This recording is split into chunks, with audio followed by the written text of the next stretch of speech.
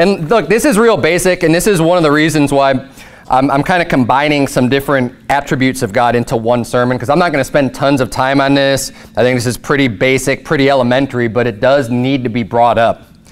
Uh, one reason it needs to be brought up is just for the fact that there are false religions out there and there's cults out there that deny the deity of Jesus Christ. And even just seeing verses like this, we need to have this reaffirmed so that you don't get screwed up by some false prophet out there trying to tell you, oh, Jesus Christ was just a created being. Jesus Christ is just Michael the archangel.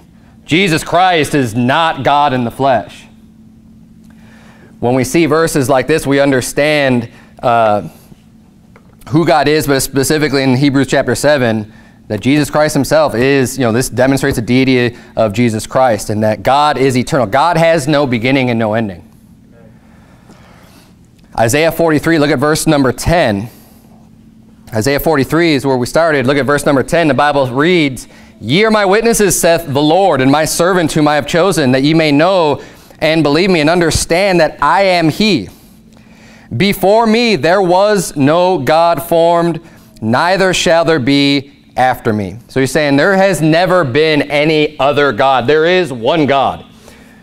No matter how far back you go, because God is eternal, there is, there's never been another God. It's not like God is our current God in a succession of gods.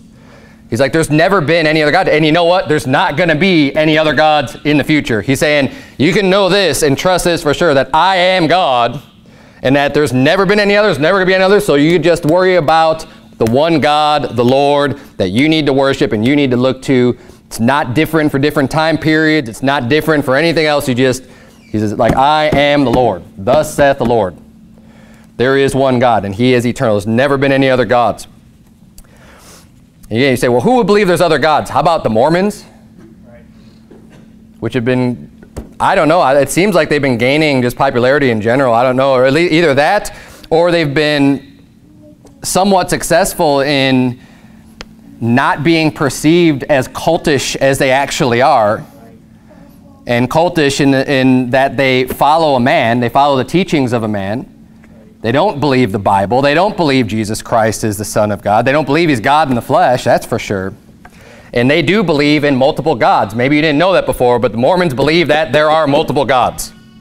And that a good Mormon one day will be a god of their own planet. That that's what they believe.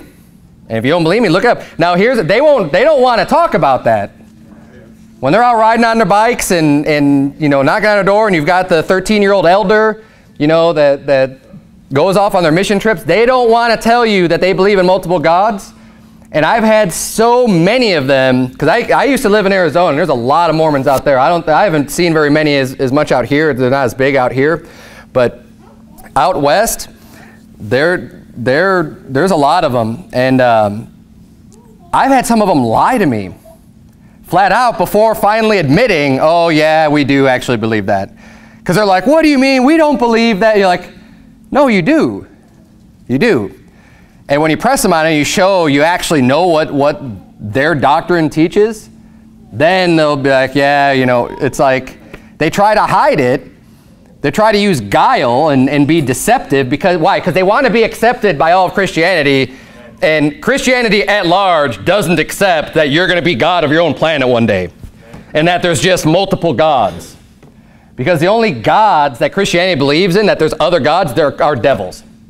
Anything that's called God, that's not the Lord, that's not Jesus Christ, is a devil.